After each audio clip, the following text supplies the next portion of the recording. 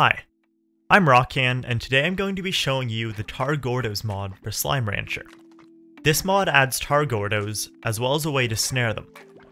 One thing to note with this mod is that it uses the Slime Translation API, so when you install Tarr Gordos, make sure to also get the API, which installs the same way that any other mod does. Tarr Gordos don't spawn in the wild, so the only way to get one is to use a Gordo snare. Placing any slime or largo in the snare will cause a Tarr Gordo to spawn. Additionally, because Tarr Gordos are the only ones that eat slimes, it doesn't actually matter what quality of snare you use. As long as you bait it with a slime or a largo, a Tarr Gordo will spawn.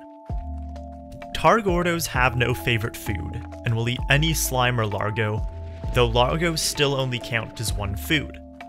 To pop the Tarr Gordo, just feed it 50 slimes and it will give you several Taran crates, just like any other Gordo would. The Tarr Gordos don't attack or hurt the player, and unlike normal Tarr, they won't cause food to spoil if it touches them. Slimes are also not scared of the Tarr Gordo, and will sometimes jump into them accidentally. That's all there is to cover with this mod, so if you want the ability to decorate your ranch with Tarrs, be sure to check out the link to Nexus mods in the description. I've also got my playlist of mod showcases linked there, so click on it if you want to see some more.